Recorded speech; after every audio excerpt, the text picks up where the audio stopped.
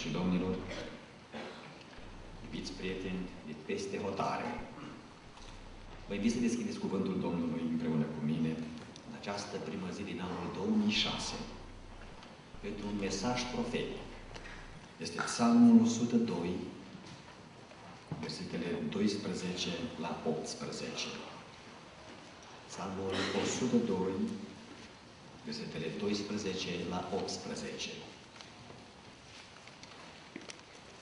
Unde Cuvântul Lui Dumnezeu spune în felul următor.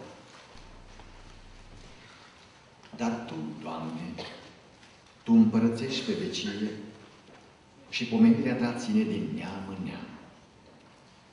Tu te vei scula și vei avea milă de Sion, căci este vremea să te înduri de El, a venit vremea hotărâtă pentru El. Căci robii te iubesc pietrele Sionului și le e milă de țărâna Lui. Atunci se vor teme neamurile de numele Domnului și toți împărații pământului de slava ta. Da, Domnul va zidi iarăși Sionul și se va arăta în slava sa. El ia aminte la rugăciunea nevoiașului și nu-i ne socotește rugăciunea. Să se scrie lucrul acesta pentru neamul de oameni care va veni și poporul care se va naște să laude pe Domnul. Amin. Iubiți frați și surori, doamnelor și domnilor, iubiți prieteni, la mulți ani, pentru cei ce sunteți cu mine în Biserica Emanuel, bine ați venit în casa Domnului, bine ați venit la închinare împreună cu noi. Anul 2005 abia s-a încheiat Anul 2006 abia a început. Dacă vrem să ne uităm puțin în urmă, la anul care abia s-a încheiat, anul 2005 a fost un an memorabil în istoria omenirii. Pe toate continentele, anul care s-a încheiat a fost simțit într-o manieră internațională, mondială. Notați aceste lucruri, probabil. Peste 235.000 de morți care au pierit în urma tsunami-ului din sud-estul Asiei. Peste 3 milioane de oameni au murit în anul 2005 de AIDS, de SIDA. Peste 80.000 de oameni au murit în Pakistan în urma cu trei de pământ. Peste 2000 de oameni au murit în Statele Unite, în urma uraganelor care au lovit sud-estul Statelor Unite. Peste 5 milioane de oameni au rămas omleși, fără case, în urma cataclismelor care au fost peste omenire în anul 2005. Alte sute de mii, posibil chiar milioane, au pierit în războaie regionale, în conflicte etnice, în atacuri teroriste, în maladii netratabile, accidente rutiere, accidente de muncă, boli incurabile. Ce să mai zicem de cei care au pierit spiritual în credință? În adevăr, cronica anului 2005 este o cronică sumbră, descurajatoare. Poate cineva va zice, fie din cei ce sunteți aici, fie din cei ce mă urmăriți direct, nu cred că este cel mai potrivit să încep primul mesaj al anului în felul acesta, cu o astfel de prezentare. Părerea acestui păstor este diferită. Atâta vreme, repet, atâta vreme cât slujitorii contemporani noi nu vor avea curajul să spună Bisericii lui Dumnezeu tot adevărul. Și nu vor avea curajul să vorbească despre judecata lui Dumnezeu, despre planul lui Dumnezeu, ci toată ziua va amăgi mintea oamenilor cu prosperitate și numai binecuvântări.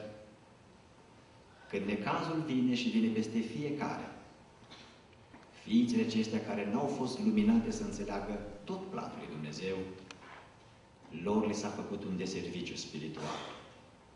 Pentru că atunci când dă necazul peste ele, vor, vor vorbi nedrept la adresa lui Dumnezeu, vor vorbi blasfemiator și multe își vor pierde credința. De ce? Pentru că n-au fost învățate să vadă realitatea, să se uite la toate detalii. Și dacă vrem să ne uităm la detalii profetice legate de vremea sfârșitului, cuvântul Domnului este acesta. Pe alocurea vor fi cu tremure, foamete și ciuni.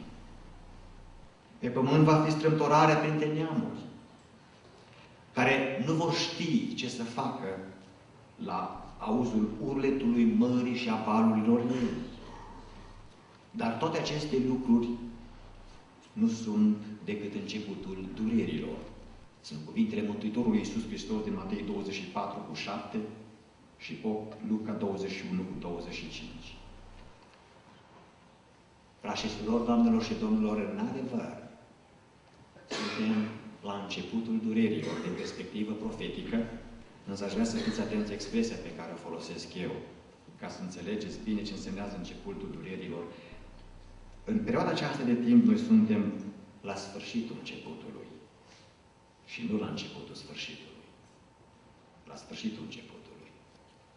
Și o să vedeți de ce. Zilele pe care le trăim sunt zilele lui Noi și ale lui Lot. Uitați cum arată aceste zile. Care este caracteristica lor? A spus-o Mântuitorul Iisus Hristos. Cum a fost în zilele lui Noe, cum a fost în zilele lui Lot, așa va fi la venirea Fiului Omului, adică la întoarcerea lui a doua oară, pentru răpirea bisericii și pentru repunerea lui Israel apoi în poziția de grație înainte lui Dumnezeu. Zilele lui Lot și zilele lui Noe. Caracteristicile acestor zile o să vă surprindă. Sunt următoarele. Una, zile ale unui egoism exagerat. Zilele lui Noe și zilele lui Lot. Zile ale unui egoism exagerat. Oamenii se întreceau ca și azi, să trăiască numai pentru sine. Biblia spune, beau, se însurau, se măritau, făceau business, făceau negoți. Nu semnează că lucrul acesta este rău, așa merge societatea, dar alt interes nu există decât pentru sine, un egoism exagerat. A doua caracteristică a zilelor lui Noe și a zilelor lui Lot, în particular zilele lui Noe, frașesilor, doamnelor și domnilor, este terorismul mondial. Terorism mondial, ați auzit bine. În Cartea Genezei, capitolul 6, cu versetul 11, este din partea Duhului Sfânt următoarea revelație biblică. Pământul era stricat înaintea lui Dumnezeu. Pământul era plin de sâlnicie, traduce Cornilescu. Dacă vă uitați în traducerea englezească, veți vedea că pământul era plin de violență, de terorism. Și ceea ce este surprinzător, cercetând cuvântul Domnului ca să vin în fața dumneavoastră uh, cât mai bine informat, am găsit că în limba ebraică, și notați lucrul acesta pentru că nu cred că este coincidență, în limba ebraică, ceea ce este tradus de Cornilescu, sălnicie, a silit pe cineva să facă ce nu vrea sau a omorâ pe cineva, a viola uh, identitatea cuiva uh, sau a aduce violență împotriva cuiva, a crea terorism împotriva cuiva. Termenul ebraic folosit este acesta, Hamas. Vă spune ceva lucrul acesta? Hamas. Eu nu cred că este o coincidență că cea mai teribilă organizație criminală și teroristă palestiniană poartă chiar acest titlu. Hamas. Și această organizație criminală nu face uh, necazuri și terorism numai împotriva lui Israel. Este o organizație criminală teroristă mondială. Mondială. Are ramificații pretutindeni. Pământul zilele lui Noi era plin de Hamas. Plin de violență. Plin de terorism. Unde ne găsim noi astăzi? Nu acolo suntem? De asemenea, Psalmul 73 concură la această, 73 cu versetul 6 concură la această idee. De exemplu, în acest verset, Asaf, din Psalmul 73 cu versetul 6, spune Mândria le slujește celor răi. ca salbă, fiți atenți la expresie, ca salbă și asuprirea le slujește ca haină cu care se învelesc. Salbă sau colier. Asta citiți în felul următor, nu ca să aducem Biblia și să o obligăm să fie interpretată în termeni moderni. Însă Biblia descrie profetic lucrurile acestea.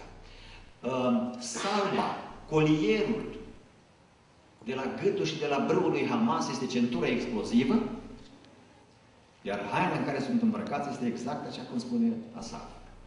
Răutate, violență, nu cruță pe nimeni, nu sunt copii, nu sunt femei, nu sunt oameni nevinovați, totul este distrugere. Zilele lui Noe și ale lui Lot, da, cum arată? Le arată în următoarea caracteristică. Zile de sfidare a lui Dumnezeu. Zilele lui Noe și al lui Noe sunt zile de sfidare a lui Dumnezeu prin promovarea imoralității homosexuale, la lege de stat și la virtute internațională. Lege de stat și virtute internațională. Geneza 6, 11 la 12. Geneza 19, 1 la 29. Luca 17, 26 la 30. Trăim zilele lui Lot și ale lui Noe. Cum sunt aceste zile? O să vă surprindă. Sunt zile ale pedepsirii omenirii prin apă.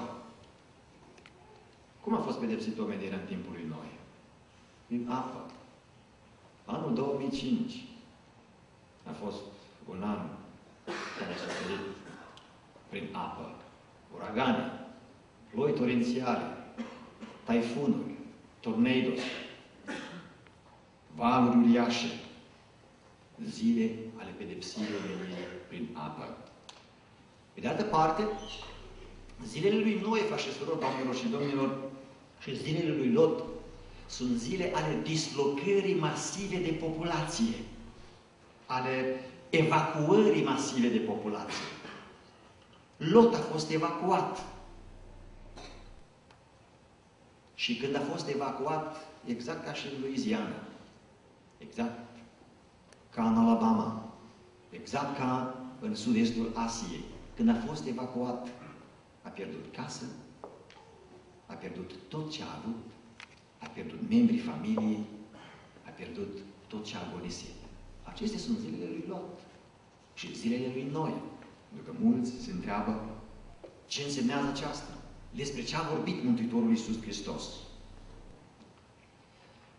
Pe de altă parte, însă, frați și surori, doamnelor și domnilor, anul care s-a încheiat a adus, de asemenea, câteva detalii profetice semnificative, care, pentru cercetătorul în profețiile biblice, trebuie să fie o pricină de bucurie, iar pentru Biserica lui Dumnezeu, care învață și ascultă aceste cuvinte, ca să cunoască pe Domnul îndeaproape, de asemenea trebuie să fie o pricină de mare îmbărbătare. După 1600 de ani de absență totală de pe scena politico-religioasă a lui Israel, pentru că n-a existat nici statul Israel. Repet, după 1600 de, absen 1600 de ani de absență totală, la 13 octombrie 2004, s-a reînființat Sanhedrinul Iudaic. Este acel organism politico-religios care a funcționat pe timpul Mântuitorului Iisus Hristos și l-a condamnat pe Mântuitorul Iisus Hristos pe vremea Apostolului Pavel, pentru că și el a fost membru în Sanhedrin, și odată cu înființarea acestui Sanhedrin, notați următoarele trei lucruri care s-au petrecut anul trecut. Knesetul sau Parlamentul Israelian a ratificat, a aprobat înființarea Sanhedrinului. La 5 iunie 2005, Sanhedrinul s-a întrunit 71 de rabini, este forma de 71 de rabini, s-a întrunit și au luat următoarele hotărâri. Prima hotărâre, identificarea științifico-religioasă, deci cu ADN-ul, cum este la mod acum, nu? Identificarea prin ADN sau DNA, în engleză ADN în românește, acidul dezoxiribonucleic. Identificarea științifico-religioasă a descendenților lui David, pentru ca, odată identificați, să se poată cunoască cine este descendent direct din David și să se poată reintroduce monarhia în Israel, împărăția davidică. A doua hotărâre pe care a luat-o Sanhedrinul la 5 iunie a fost să ceară populației israelene, israelite de pretutindeni să facă o donație către statul evreu, mai, mai degrabă către rabinatul evreu, Direcția Generală a, a Rabinatului Evreu, o donație prin care să se poată pregăti materialele pentru cel de-al treilea templu. Sanhedrinul a spus așa, suntem în pragul reconstruirii celui de-al treilea templu. Imediat ce condițiile sunt cele mai potrivite, noi vrem să fim ca pe vremea lui David. David a predat lui Solomon toate materialele înainte ca templul să fie construit. Și când permisiunea vine în această direcție, materialele dorim să fie pregătite, cumpărate, prelucrate, pentru ca în mai puțin, în mai puțin de șase luni de zile să putem să ridicăm templul. Și a treia hotărâre pe care au făcut-o, Sanhedrinul, a fost construirea unui altar pe muntele Moria, pe muntele templului, în vederea reînceperii închinării levitice, ori, dacă nu se poate reconstrui un altar, fiți și-au spus și apoi vom vedea în detalii, au zis ei, să ridicăm din nou din dărâmăturile lui cortul lui David. Ați auzit această expresie biblică și am să vă dau detalii despre ea. Este 1 Cronici 16 cu 1 la 3, Amos 9 cu 11 la 12, Fapte 15 cu 13 la 19. Cu siguranță, domnii mei, că acestea sunt zile profetice, zilele pe care noi le trăim. Și haideți acum, după ce ne-am uitat pe scurt în anul 2005, să ne uităm în profeții cine stă în față, imediat, cine stă în față în viitorul imediat, apropiat. Și primul lucru pe care aș dori să-l definim în acest mesaj profetic este această expresie, neamul acesta de oameni. Este această expresie, neamul acesta de oameni. Iisus Hristos folosește această expresie în Matei 24 cu 34, când spune următorul lucru. Adevărat vă spun că nu va trece neamul acesta, neamul acesta de oameni, până nu se vor împlini sau întâmpla toate lucrurile despre care v-am vorbit. Ce a vrut să spună Mântuitorul Iisus Hristos despre neamul acesta de oameni? Ce reprezintă neamul sau generația aceasta de oameni? La cine a făcut el referință? Cât de lungă este o generație, un neam de oameni? Pentru că aici sunt problemele celor ce studiază profețiile, aici este încurcătura, aici se greșește când se stabilesc date, pentru că încearcă să se creeze uh, această uh, convingere absolută că o generație de oameni este o cifră foarte exactă. Însă, frați și surori, doamnelor și domnilor, să vă surprindă că în lumina Sfintelor Scripturi nu există o teologie corectă uh, așa cum oamenii o propagă, în sensul că o generație de oameni însemnează o, uh, un timp fix de ani. Haideți să vă ilustrez.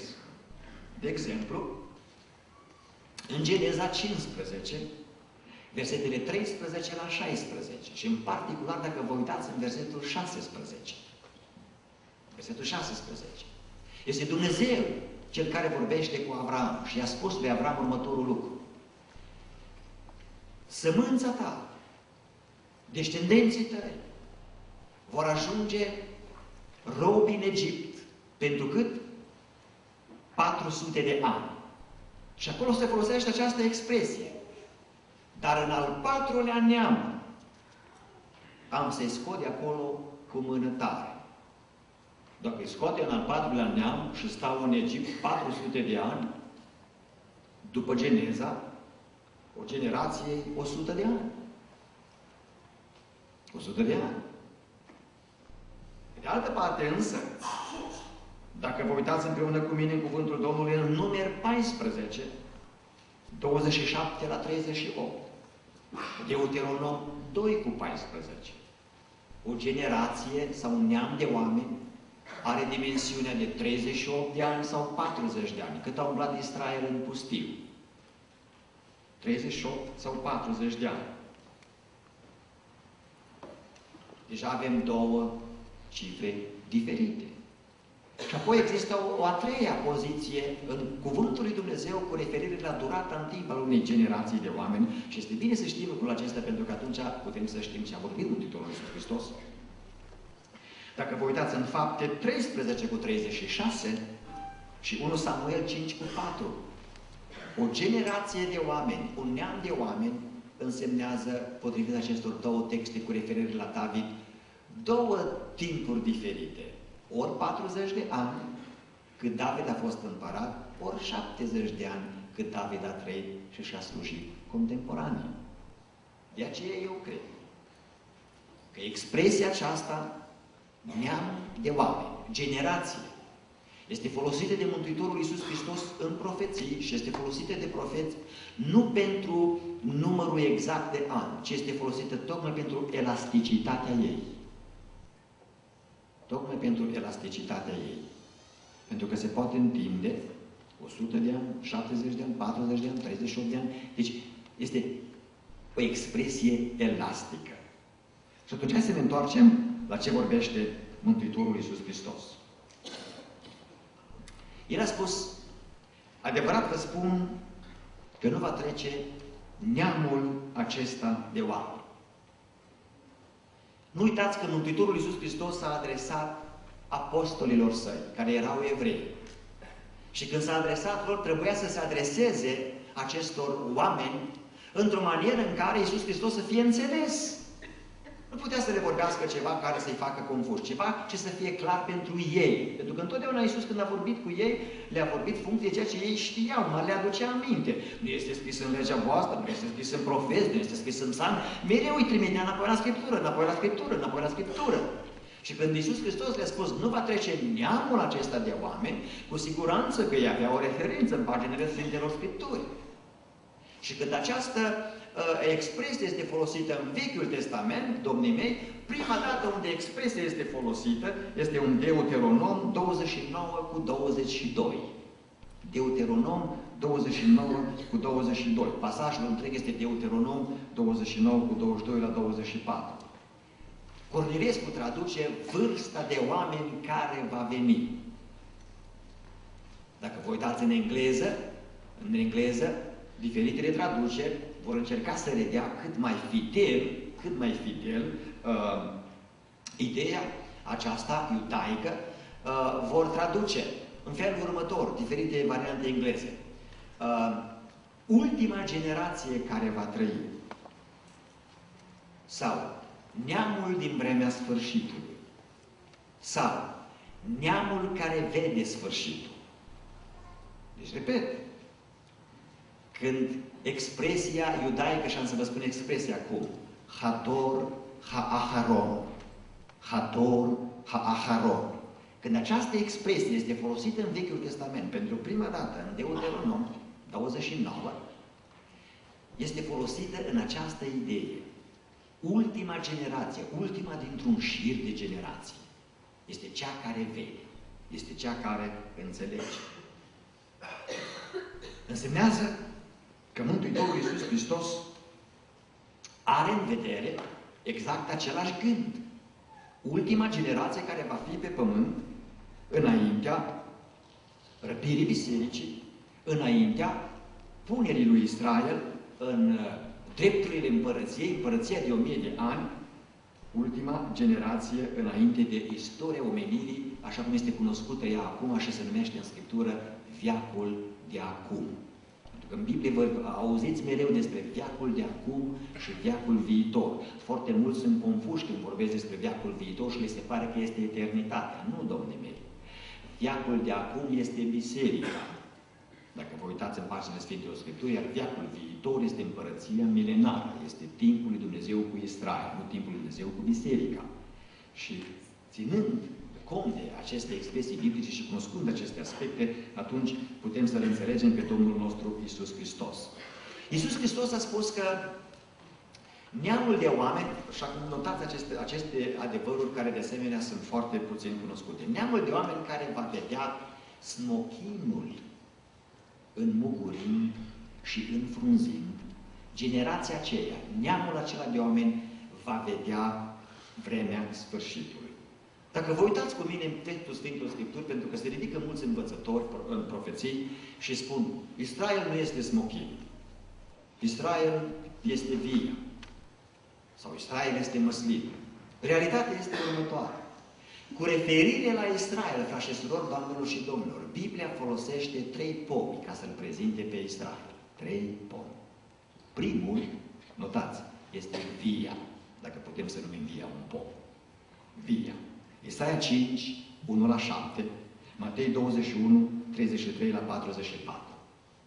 Când Domnul folosește via ca să reprezinte pe Israel, aș vrea să știți următorul adevăr.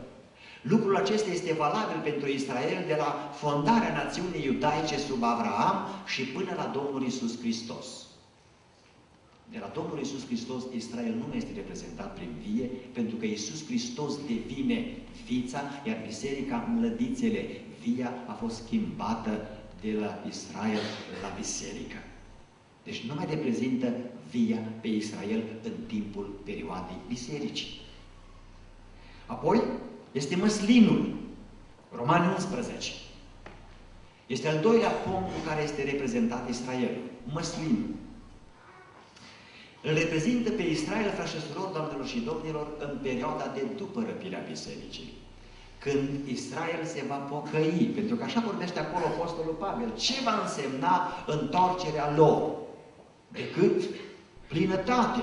Înseamnă pocăința lor. Măslinul reprezintă pe Israel după perioada bisericii în pocăință. Și atunci mai este un pom cu care Israel este prezentat. Și acesta este smochinul. Smochinul este Israel în perioada bisericii.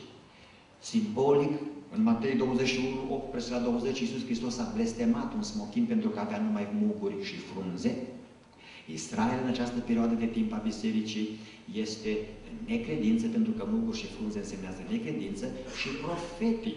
Fiți atenți cum vorbește Mântuitorul Iisus Hristos.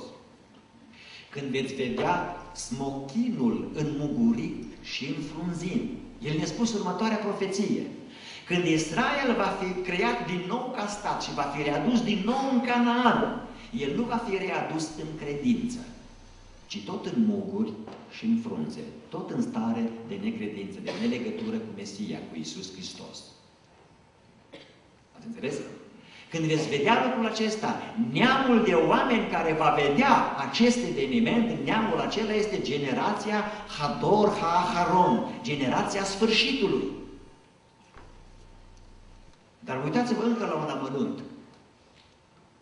Luca este luat în primire de Duhul Domnului și Luca își aduce aminte de ceva mai mult decât și-a adus aminte Matei, care este lângă Mântuitorul Iisus Hristos. Știți, capacitatea noastră de, de, de a ține minte variază. Și de fapt, noi ne lăudăm. Eu am o memorie extraordinară, eu am o memorie mică, eu ce prin repede, prin greu și uit repede. Și noi avem multe, foarte multe expresii. Adevărul este că una din lucrările speciale ale Duhului Sfânt este activarea memoriei. Când va veni El, vă va aduce aminte de ce v-am învățat eu. Duhul Sfânt este Cel care ne dă memoria și ne activează memoria. Când Luca a scris, uitați ce scrie Luca. În felul următor. Zice el așa. Vedeți smochinul și toți copacii? El adaugă această expresie, și toți copacii. Când înfrunzesc și îi vedeți, voi singur cunoașteți că acum vara este aproape. Tot așa, când veți vedea întâmplându-se aceste lucruri, să știți că Împărăția Lui Dumnezeu este aproape. Adevărat vă spun că nu va trece neamul acesta de oameni până când nu se vor împlini toate aceste lucruri. Care va vedea aceste lucruri? Dacă smochinul reprezintă pe Israel, și îl reprezintă, Toți copacii, frași și surori, doamnelor și domnilor, reprezintă neamurile pământului. Referirea lui Luca, mai precis a Domnului Iisus Hristos, pe care Luca o ține minte, activată de Duhul Domnului, este aceasta. Când veți vedea că smochinul înfrunzește și înmugurește, nu aduce roade, este încă în necredință, și când veți vedea că statele lumii se nasc concomitent sau în aceeași perioadă de timp cu smochinul care înfrunzește și înmugurește, generația aceea este generația sfârșitului. Și uitați cum arată uh, statele lumii de la creierea lui Israel. La 25 iunie 1954, 1945, Națiunile Unite s-au reorganizat într-o conferință internațională la San Francisco. 50 de state existente atunci au semnat Carta ONU. 50 de state. În 1945. În 1948, numărul țărilor s-a ridicat la 58. Au început să înmugurească și să înfrunzească copacii. În 1949, Israel este al 59-lea uh, stat care s-a înscris în ONU. În 1960, numărul țărilor s-a ridicat la 99. Odată cu prăbușirea sistemului colonialist, țările au început să apară una după alta. În 1972, numărul țărilor membre ONU s-a ridicat la 127. În 1980 avem 154 de state în lume. În 1990 avem 159 de state. În anul 2000, numărul națiunilor Pământului s-a ridicat la 189. În anul 2002 și până în momentul în care vă vorbesc, numărul țărilor în ONU, țările de pe Pământ, sunt 191. 191. Ce a spus Iisus Hristos? Fiți atenți la expresiile Lui. mi îmi place și de mult detaliu. Știți foarte bine lucrul acesta, pentru că acolo vedem frumusețea. A zis, când veți vedea smochinul înmugurind și înfrunzind și toți copacii la fel, atunci voi știți că vara este aproape. De ce folosește Iisus Hristos expresia aceasta, vara? Pentru următorul lucru. Vara este timpul când se culeg poamele, fructele, roadele. Vara se culeg fructele. Și de asemenea, vara este timpul când se culege grâul, domnul meu. Fructele și grâul. Și atunci, haideți să vedem. Deci, vara este timpul roadelor și a secerișului. Dar dacă ne uităm în cuvântul Domnului din perspectivă profetică, secerișul, spune Mântuitorul Iisus Hristos, însemnează sfârșitul viacului. Matei 8, Uh, Matei 13, cuvântul Domnului spune în felul următor. Țarina este lumea. Sămânța bună sunt fiii împărăției. Negâină sunt fiii celui rău. Vrăjmașul care semănatul este diavolul. Secerișul este sfârșitul viacului.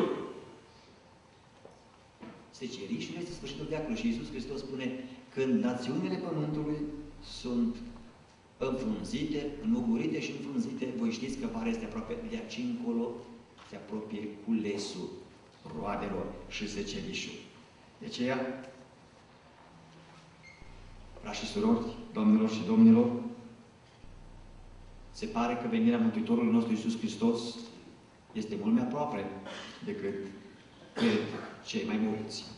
Decât cred cei mai mulți. Profetul Mica concură la acest gând când spune Vai de mine, spune el, căci parcă sunt la strângerea roadelor, la strângerea boabelor de după cules.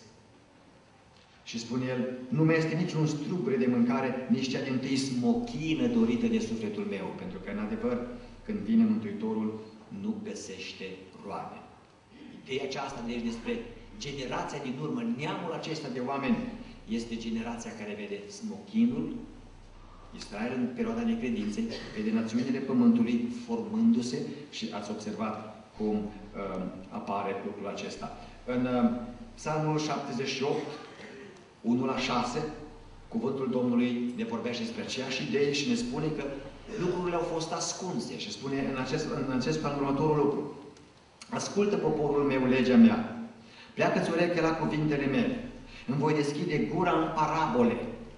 Voi vesti lucruri ascunse de demult, pe care le-am auzit și le-am cunoscut, dar le-au ținut ascunse și le vom istorisi generației care va veni. Hador Ha-Haron, ultimei generații le voi, le voi face de cunoscut. Pentru ca generația aceasta să le cunoască și fiii lor să se întoarcă la Domnul. Psalmul 78. Uh, Dar în Psalmul 102 pe care l-am citit pentru noi, pentru începutul uh, mesajului nostru profetic, spune ceva foarte, foarte interesant. Spune că în versetul 13, Tu te vei scula și vei avea milă de Sion. Fiți atenți!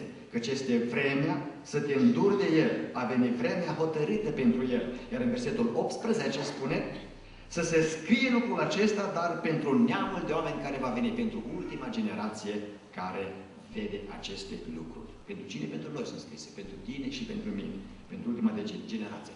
Ca dovadă că vorbește despre ultima generație, dacă vă uitați împreună cu mine și acasă veți avea timp să răsfoiți Sfânta Scriptură, Psalmul 102 prima parte, primele 10 versete, frașe doamnelor și domnilor, dă detalii cu tremurătoare despre Holocaustul hitlerist. Și când s-a întâmplat Holocaustul hitlerist? Abia înainte de a începe Israel ca națiune. Fiți atenți la detaliile pe care le dă psalmistul. Versetele 1 la 2 din psalmul 102 vorbește despre singurătatea lui Israel în necaz. Spune că nimeni nu a venit în ajutor și nicio națiune n-a venit să-l ajute pe Israel. Dar versetul 3 este intrigant. Zice el așa în versetul 3. Pentru că zilele mele pierd ca fumul și oasele merg ca un tăciune. În ebraică este veașan. Zilele mele pierd în fum. Este o descriere profetică a pieirii a șase milioane de evrei în fumul crematoarelor naziste din Europa. Când oasele lor au ajuns numai jar. Poporul Israel a suferit. Versetul, versetele 4 la 7 de Psalmul 102 prezintă condiția fizică a evreilor din aceste lagăre. Ia uitați-vă! Inima mea este lovită și mi se usucă în tocmai ca iarba, până și pâinea ui să mi-o mănânc. Așa de mari îmi sunt gemetele că mi se lepesc oasele de carne. Ați văzut show-urile acestea? Nu show în sensul reportajele acestei televiziune, cum au arătat evreii din lagările naziste? Ați văzut? Yes. Cum aveau oasele lipite de carne. Este o descriere zguduitoare a Holocaustului hitlerist. Și pentru că psalmul vorbește despre aceste lucruri în detalii atât de profunde și spune lucrul acesta să fie scris pentru ultima generație, atunci uh, mă, mă, mă mir că sunt oameni care încă spun, nu vorbiți despre lucrurile acestea, nu vorbiți despre profeții, nu vorbiți despre lucrurile acestea bisericii, pentru că acestea sunt speculații. Nu, acestea nu sunt speculații, acesta este cuvântul revelat al lui Dumnezeu. Și Biserica Domnului trebuie să cunoască lucrurile acestea și să le înțeleagă, nu să se sperie, să le cunoască pentru ca să se poată apropia de Dumnezeu pentru o trăire cât mai, uh, mai sfântă. Și uh, un ultim gând în legătură cu uh, ideea aceasta despre ultima generație, despre Hador, Ha-Haron, este următoarea. Apostolii au stat de vorbă cu Mântuitorul și a spus în Matei 24, versetul 7, care va fi semnul că sfârșitul veacului a sosit. A spus, dă-ne un semn. Și Iisus le-a dat un semn. Și uitați ce semn le-a dat. Un neam se va scula împotriva altui neam și o împărăție împotriva altei împărății. Este o expresie iudaică care însemnează în felul următor. Când veți vedea pentru prima dată o conflagrație mondială, deci un război mondial, atunci să știți că acela este semnul sfârșitului. Când s-a întâmplat prima dată în istoria omenirii o conflagrație mondială? În 1914. Începutul are deja 91 de ani. De aceea, domnii mei, uh, nu am greșit când am spus că noi nu suntem la începutul uh, sfârșitului, ci noi suntem la sfârșitul începutului. Ați auzit bine? La sfârșitul începutului. Trăim zile glorioase. Pe mine mă bucură lucrul acesta. În al doilea rând, cortul lui Dan. Cortul lui Dan. Un alt aspect profetic deci, pe care trebuie să-l știe Biserica Domnului. Să știe oricine care este interesat unde ne găsim. Ca să nu fie în această confuzie. Pentru că unii au expresii din aceste de dreptul aberant, oare la care trâmbițe suntem, la care lucrurile cele nu încep decât după răpirea bisericii. Trebuie să știm unde ne găsim noi, ca biserică. Sanhedrinul care s-a reconstituit, cum spuneam la început, a stabilit să reînceapă închinarea, să reconstruiască templul, cel de-al treilea templu, ori, au zis ei, să ridicăm din nou cortul lui David.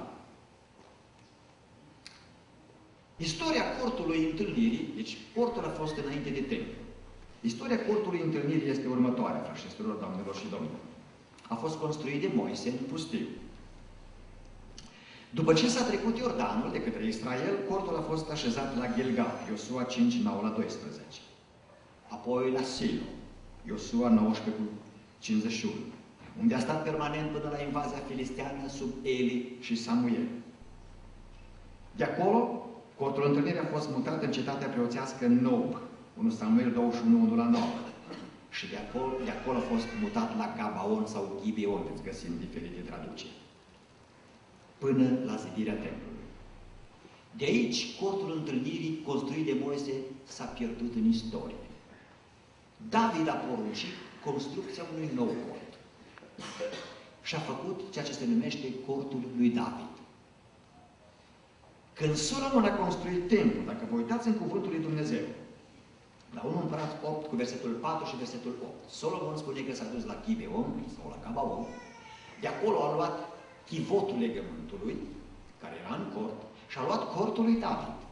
Și a adus chivotul și cortul la templu pe care el l-a construit. Și într-o cameră specială a templului a pus cortul ca să fie prezervat pentru generațiile care vor veni. Dar templul a fost distrus sub Nebucadnețar și întrebarea este, unde e cortul lui David? De ce vorbește Sfânta Scriptură despre cortul lui David? Rabinii spun următorul lucru. Că în timpul invaziei babilonene sub Nebucadnețar, Ieremia a primit un cuvânt profetic din partea lui Dumnezeu să ia cortul și uneltele cortului din templu și să se ducă să le ascundă pentru vremurile viitoare. Și fiți atenți ce spune Cartea Macabeilor, pentru că în Cartea Macabeilor, ce aveți o Biblie varianta ortodoxă, în care sunt cărțile apocrife, în Cartea Macabeilor, uitați ce scrie următorul lucru. 2 Macabei, versetul 1 și în continuare 4 la 8. Vă citesc. Și se află în arhive cum că Ieremia prorocul, luând poruncă de la Dumnezeu, a poruncit să aducă cu sine cortul și chivotul. Și ieșind la muntele în care s-a suit Moise și a văzut cea, țara ce i s-a arătat ca moștenire, Ieremia a venit acolo și a aflat loc într-o peșteră și cortul și chivotul și jertfelnicul tămâierii le-a băgat acolo și a stupat ușa.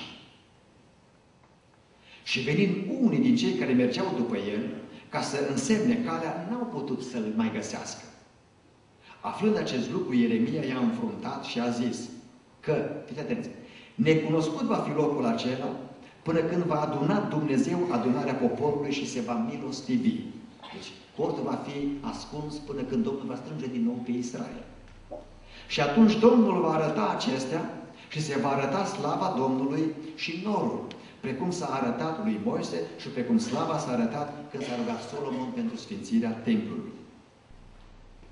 Partea interesantă este că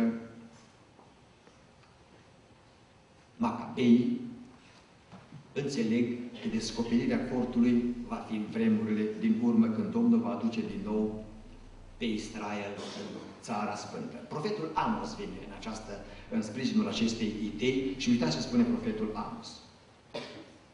În vremea aceea, înseamnă în vremea de apoi, în vremea din urmă, voi ridica din nou din căderea lui cortul lui David. Îi voi trece spărturile, îi voi ridica dărâmăturile și îl voi zidi iarăși ca o dinioară, ca să stăpânească rămășița Domnului și toate neamurile peste care a fost chemat numele meu, zice Domnul, care va împlini aceste lucruri. Mărit să fie Domnul.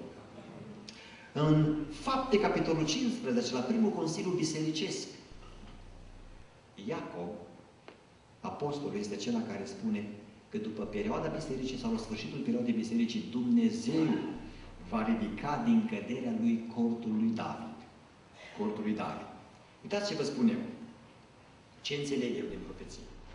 Înțeleg următorul lucru. Este foarte, foarte posibil, poate în anul acesta, sau poate în timpul, în viitorul imediat apropiat, ca în disputa dintre Israel și islamism, care pretinde, islamismul pretinde că muntele Moria le aparține lor, datorită celor două moschee, moscheea Omar sau Domon Peroc și Al-Aqsa. Datorită acestor moschei, islamismul spune asta este al nostru. Evrei spune aici a fost templu și trebuie să fie al nostru. Cred că în disputa dintre ei se poate întâmpla următorul lucru. Arabii, musulmanii, vor accepta mai repede să fie o perioadă interimară, să zică, domnule, mai bine punem un cort acolo pe muntele Moria decât să construim un templu. Cordul putem noi muta oricând. Înțelegeți? Și se va face un compromis între ei. Un compromis între ei. Uh, Ezechiel spune lucrul acesta. A măsurat astfel în cele patru laturi zidul de jur împrejurul casei. Lungimea era de 500 de prăjini, lățime de 500 de prăjini. Zidul acesta despărțea locul sfânt de cel profan. Este Ezechiel 40 uh, și 2 cu 20. La fel în, în 43 cu 8. Adică se poate ajunge la o înțelegere de felul acesta. Facem un zid de despărțire pe muntele Moria, cum vorbeam și în altă, în altă privință, este mai ușor pentru noi să punem acolo uh, un, uh, un cord, pentru că poate fi mutat oricând dacă ne supără, așa, și în felul acesta să se facă o perioadă de interimat până la construirea celui de-al treilea templu. Și în această privință notați următorul lucru. Interesul pentru găsirea cordului lui David este uh, în mare vâlvă la ora actuală în Israel. Membrii noului Sanhedrin, precum și liderii grupării mistice ebraice Kabbalah. Ați auzit de cabaliști. Acum toți actorii de la Hollywood trec la cabalism. Madonna, Madonna, dacă cum vreți să spuneți Madonna, nu este Madonna, să ne Domnul. Așa? Au trecut la cabalism. Și asta înseamnă o interpretare mistică a Sfintelor Scripturii, o interpretare religioasă, o interpretare mizerabilă a Sfintelor Scripturii. Dar rabini din gruparea mistică Cabal s-au alăturat rabinilor din Sanhedrinul iudaic, atenție, și aceștia l-au comisionat pe arheologul american Wendell Jones. Wendell Jones. L-au comisionat să facă săpături la Qumran și la Nebo, să găsească cortul lui David și chivotul. Wendell Jones, până la ora actuală, dați-mi voie să vă aduc la cunoștință, a început să sape la Qumran, mai înspre Nebo, unde a spune că Ieremia ar fi ascuns cortul, și în săpăturile pe care le-a făcut până acum Wendell Jones a găsit următoarele două lucruri de la templu. Câteva amfore, vase, cu uleiul sfânt care era folosit la templu și de, fără de care nu se poate începe închinarea la templu. Și lucrul acesta este cunoscut acum. Și de asemenea, Wendell Jones a găsit câteva, câteva sute de kilograme de tămâie de la templu. Lucrează intens pentru că vor să găsească cortul lui David să fie reparat și să fie repus în funcțiune ca și ceva interimat până la zidirea celui de-al treilea templu. Uh, sunt zile profetice, frați și sorori, domnii mei. Sunt zile care trebuie să vă umple de bucurie pentru că venirea Domnului este foarte, foarte aproape. Și lucrul acesta ar trebui să ne motiveze să lucrăm cum n-am lucrat niciodată pentru Dumnezeu. Să cântăm cum n-am cântat niciodată, să predicăm cum n-am predicat niciodată, să ne rugăm cum ne rugăm niciodată și să, să avem alte, alte relații. Unii cu alții și cu Domnul și în familie. În al treilea rând, perspective profetice 2006 și după. Hai să vedem ce se întâmplă imediat. Primul lucru pe care trebuie să notați dumneavoastră în perspectivele profetice și în anul acesta va fi una sângeroasă. Decepția este litera, uh, uh, norma, de fapt, norma la zi a vremurilor din urmă. Decepție. De ce Mântuitorul Iisus Hristos spune în Matei 24 cu versetul 4 și 11, băgați de seama să nu vă înșele nimeni. Poate vă sună ciudat. Decepția cea mai mare pe care o trăiesc oamenii la ora actuală este uh, înșelăciunea fanatismului islamic. Este cea mai mare decepție. Când pot să convingă pe oameni să devină bombe sinucigașe lucrul acesta este cea mai mare decepție care s-a fost, s-a creat vreodată în istoria uh, omenirii. Arabia Saudită este sponsorul numărul, numărul unu a acestei decepții, pentru că Arabia Saudită, de profesie religioasă, este islamică, însă islamismul wahabist, islamism wahabist este una dintre cele mai eretice și dintre cele mai uh, fundamentale secte islamice din lume. Iar ei sunt interesați să ducă această idee despre islamism în toată lumea.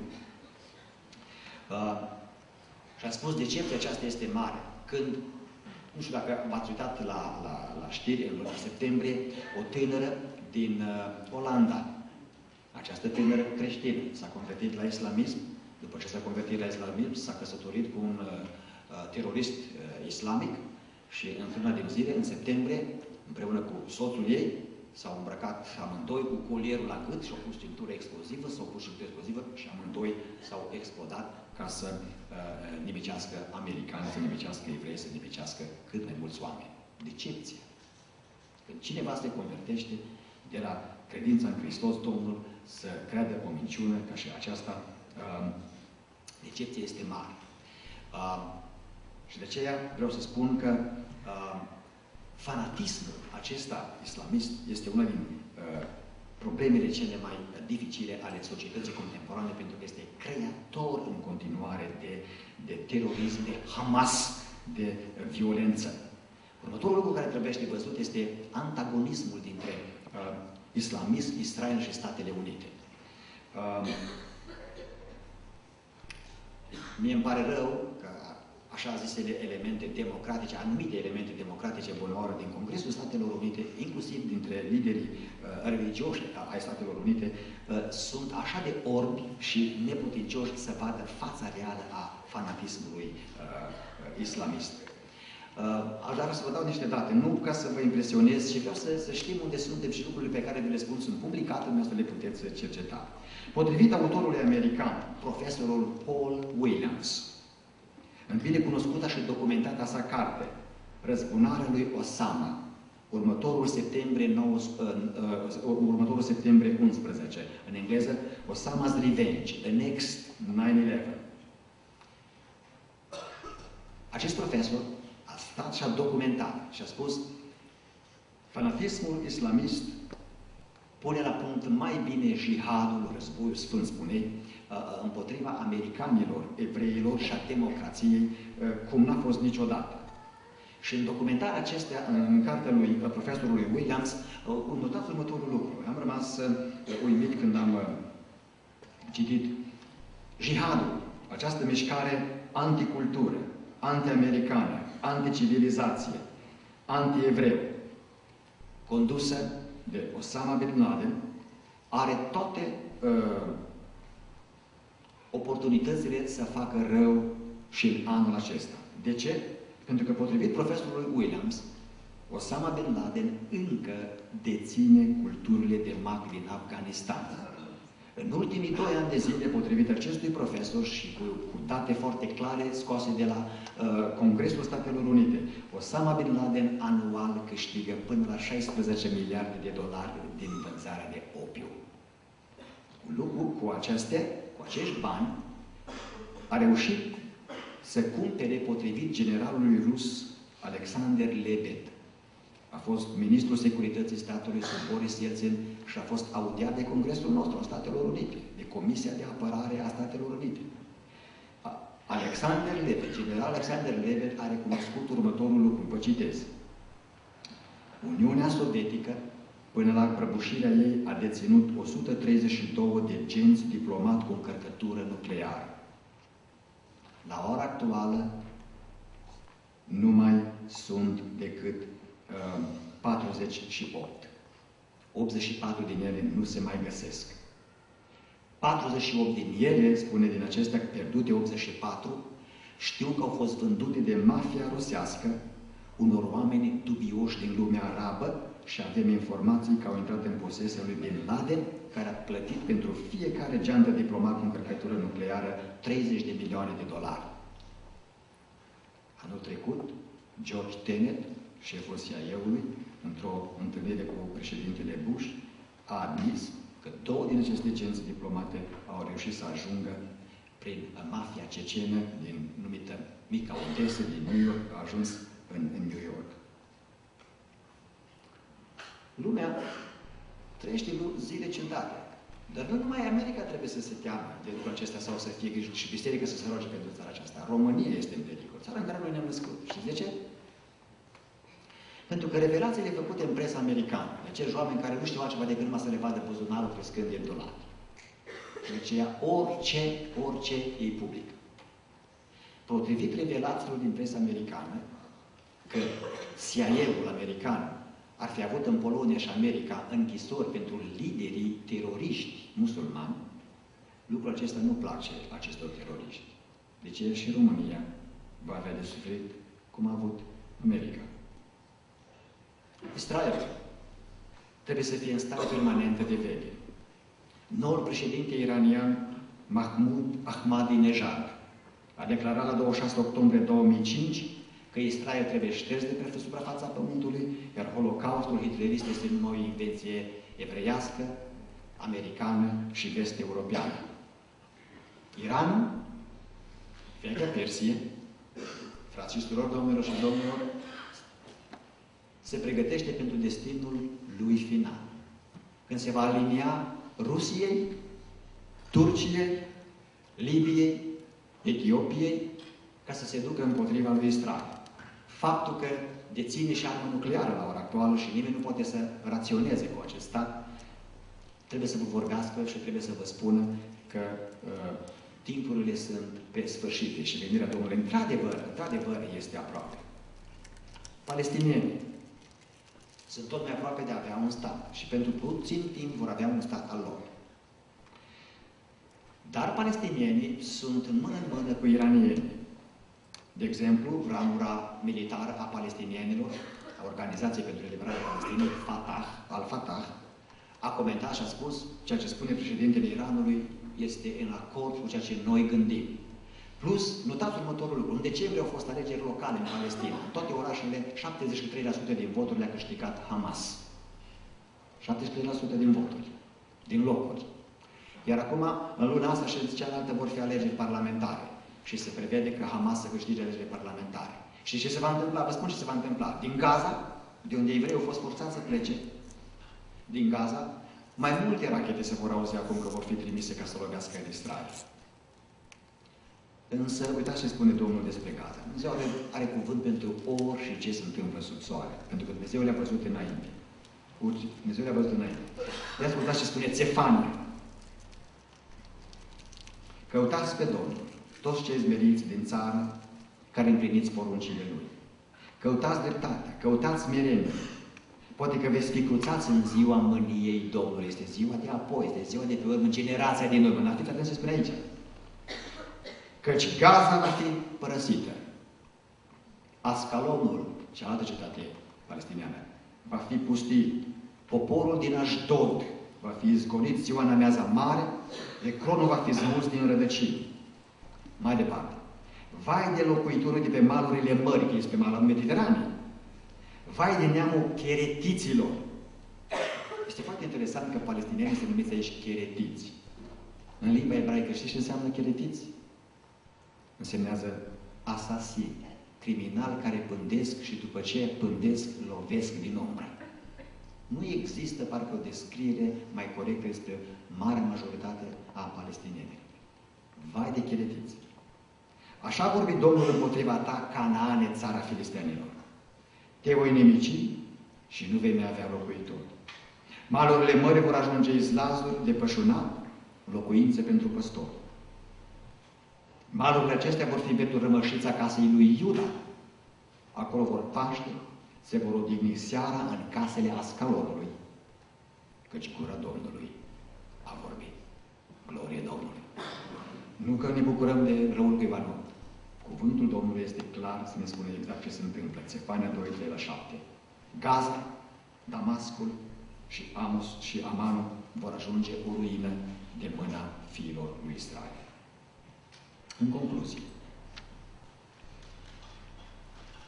anul care s-a încheiat trebuie să ne învețe lecția sacră a binecuvântării, lecția tristă a blestemului, Geneza 12 cu 3. Vă spuneam cu altă ocazie, dar vă spun acum pentru că vreau să vă dau numele ca să cercetați, mai ales tine. Reporterul creștin Bill Koenig, asta este numele lui, Bill Koenig, de la Casa Albă, în cartea sa Eye to Eye, în românește față în față. A investigat îndeaproape uraganele și tornadele care au lovit America din 1992 încoace. Fiți atenți. Observația demnă de luat în considerare pentru studiul profetic pe care o face Bill Koenig este aceasta. Toate uraganele care au lovit America s-au petrecut la 24 de ore, maximum 48 de ore, de la una din forțările guvernului american împotriva evreilor de a evacua evrei din Gaza. Întotdeauna. Și de fiecare dată Domnul a evacuat din sudul Americii. Cum i-a forțat pe, pe evrei să plece din Gaza, o porțiune de aici, o porțiune de acolo, la 24 de ore după acest, acest uh, ordin de la Casa Albă către evrei, a venit uragan. Asta este concluzia lui Bill Koenig. Și o documentează în 374 de pagini. Vă recomand că este excelent, este foarte, foarte bine scris. Administrația Statelor Unite ar trebui să învețe din această greșeală. Biserica ar trebui să învețe. Biserica trebuie să învețe. Noi toți ar trebui să învățăm. Acum am intrat în anul 2006. Notați următorul lucru, pentru că, iar cineva va zice, coincidențe? Nu știu. La 2006 ani după Adam a murit Noe. Noi am murit în anul 2006 de la Adam. Doi ani mai târziu s-a născut Avram, părintele națiunii iudaice. Să aibă această o semnificație profetică pentru anul 2006 și 2008? Nu știu. Dar știu un lucru, că trebuie să dăm atenție la toate detaliile. De aceea, uitați-vă în jur, dar mai ales uitați-vă în sus. Și uitați-vă în inimă. Amin? Amin. Dacă vom trăi până la sfârșitul acestui an, să nu mai spun ceva. Urmăriți ziua de 24 decembrie 2006. Ați auzit bine? 24 decembrie 2006. În calendarul iudaic este luna a noua. Se numește 24 Chișleu. Rabinii evrei din Sanhedrin, din nou Sanhedrin, și rabinii din organizația Temple Mount Faithful, credincioșii muntelui Templului, au pregătit două pietre de temelie, șase toni și jumătate fiecare, pentru construcția celui de-al treilea templu. Dacă vă uitați în cuvântul Domnului în Hagai, capitolul 2, cu versetul 18 și 19, piatra de temelie pentru al doilea templu a fost pusă la 24 chișleu. Asta înseamnă 24 decembrie. Și acești rabini din Sanhedrin și din credincioșii pentru muntele templului încearcă de câțiva ani încoace, la 24 decembrie, să se ducă pe muntele Mureș să se pună din nou piatra de temelie pentru cel de-al treilea templu. Totdeauna au fost dați la o parte. Însă acum sunt hotărâți mai mult ca oricând. Știți de ce fac lucrul acesta? Pentru că dacă, citiți în, în, dacă citim în Hagai, profetul Hagai a zis, aduceți-vă aminte din ziua 24 a lunii Chișleu când s-a pus temelia templului. Din ziua aceea am început să vă binecuvânteze. Evreii vor să fie, să înceapă din nou să fie binecuvântați. Va fi acum în, în anul acesta? Nu știu, dar trebuie să știm datele acestea pentru că ele sunt date eh, esențiale, date profetice. Pentru că tot la 24 Chișleu s-a mai întâmplat câteva evenimente. Și anume, la 24 Chișleu, 24 decembrie, în, eh, eh, în anul 167, înainte de Hristos, Antioch Epifanul a spurcat templul, a desecralizat templul jertfind un porc acolo. Trei ani mai târziu, exact la 24 chișleu sau decembrie, Iuda Macabeul a reușit să îi scoată afară pe sirieni și să sfințească templul și să reaprindă menora, candela aceasta cu șapte brațe, care o vedeți aici. N-au avut un de lemn decât numai pentru o zi. Însă ca prin minune a ars 8 zile la rând uleiul pentru o perioadă de o zi. De acolo este sărbătoarea Hanukkah sau sărbătoarea luminului, la Iuda Macabeul încoace. Deci trei evenimente s-au petrecut în 24 decembrie 24 Chișleu. Punerea temeliei templului, invazia lui Antioch Epifanul, cucerirea, recucerirea sub uh, Iuda Macabeu. S-ar putea evenimentele să se repete. Dar încă ceva frumos pentru Biserica Pentecostală. Anul acesta în care am intrat, frați și doamnelor și domnilor, între 25 și 29 aprilie, aici la noi în Los Angeles, se va sărbători centenarul Bisericii Pentecostale Mondiale. În anul 1906, pe Azusa Street, pe strada Azusa, aici, în Los Angeles, Dumnezeu a început să boteze cu Duhul Său cel Sfânt. Mișcarea a fost ceva ciudat pentru creștinismul din vremea aceea. Mass media, presa, a început să se dezvolte mai rapid, pentru că acum dispunem de telegraf, dispunem de telefon, și presa a venit să vadă.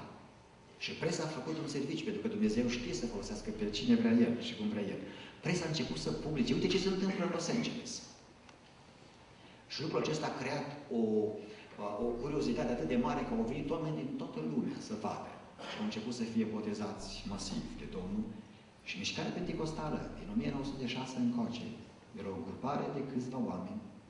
La ora în care eu vă vorbesc în clipa aceasta, are 650 de milioane de credincioși botezați de Domnul cu Duhul Sfânt. Este a treia mișcare uh, creștină ca mărime în lume. Cea mai mare este mișcarea catolică, a doua sunt protestanțe, 700 de milioane, noi suntem 650 de milioane. Anul acesta, în luna aprilie, va fi această sărbătoare și după uh, contactele pe care le am cu organizatorii centenarului, uh, s-ar putea să fim și noi, biserica noastră, vizitată de unii din liderii mondiali în perioada aceea de timp. Dar de ce vă spun lucrul acesta? Ca să ne lăudăm pe nicotalismul? Nu. Știți de ce vă spun? Pentru următorul lucru. Revărsarea Duhului Sfânt este semnul vremurilor din urmă. Eu el a spus.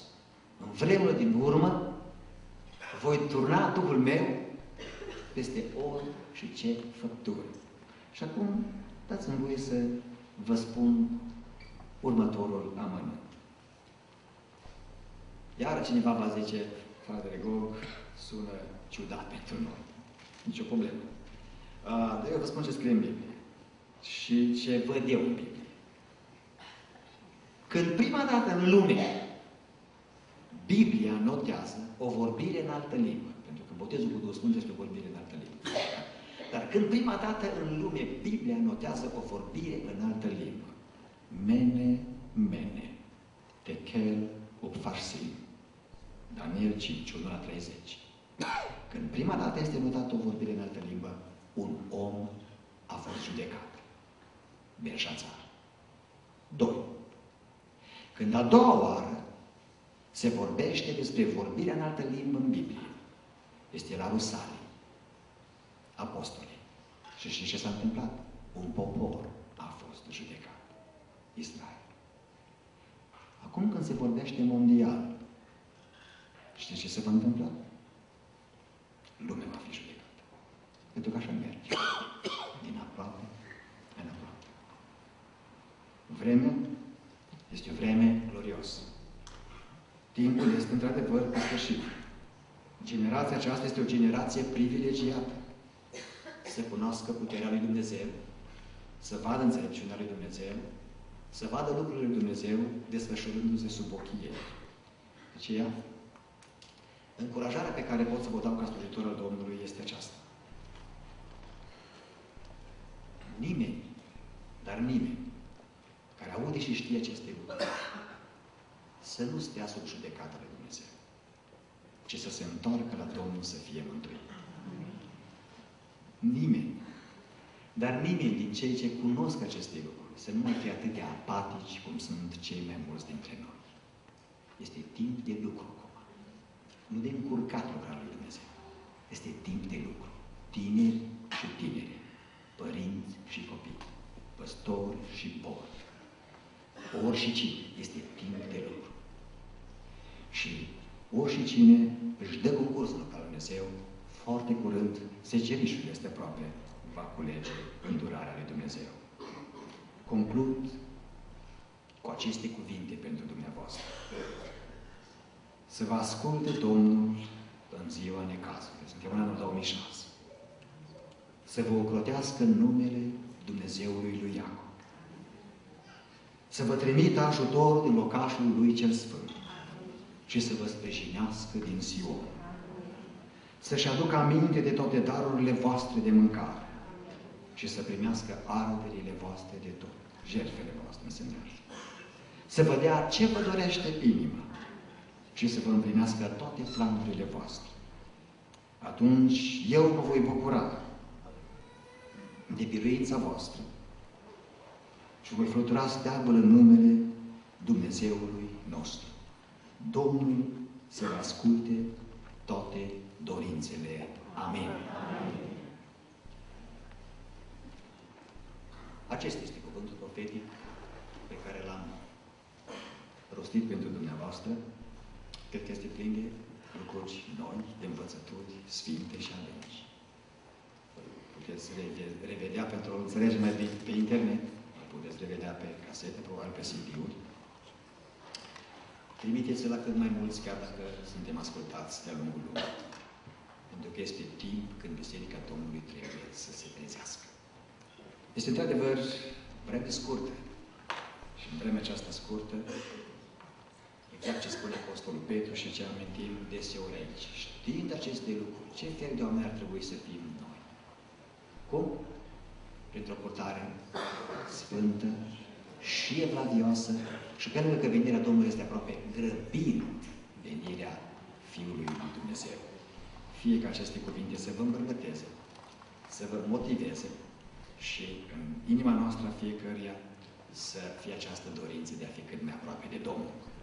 Vă invit, alături de colegii mei păstori, haideți să ne arătăm tari pentru Domnul nostru, să lucrăm pentru Mântuitorul nostru Iisus Hristos, pentru că știți, așa cum zice cuvântul Domnului, lucrarea voastră, faptele voastre vor avea o răsplată. Și cel ce răsplătește nu suntem noi, cel ce răsplătește este Domnul. Domnul să vă binecuvinteze. Ne ridicăm în picioare.